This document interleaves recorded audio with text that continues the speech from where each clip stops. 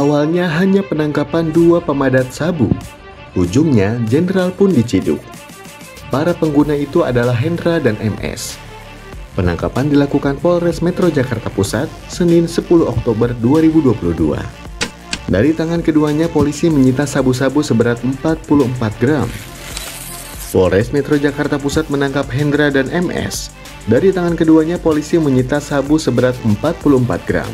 Sehari berikutnya, penyidik menangkap Abeng alias Ariel yang diduga sebagai pemasok sabu tersebut. Abeng memperoleh sabu tersebut dari Aibda Ahmad Darmawan yang bertugas di Polsek Kalibaru, Tanjung Priuk, Jakarta Utara. Ahmad mengaku mendapat sabu dari Komisaris Kasranto Kapolsek Kalibaru.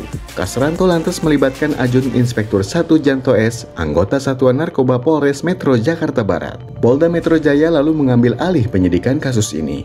Dari hasil pengembangan diketahui sabu yang dijual Kasranto diperoleh dari bandar sabu bernama Linda.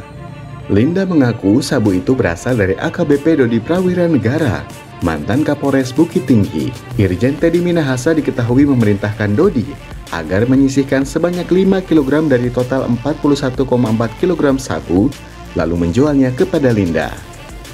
Dodi lantas mengganti 5 kg sabu sitaan tersebut dengan tawas. Teddy diketahui mendapat bagian 300 juta rupiah dari setiap kilogram penjualan sabu-sabu tersebut.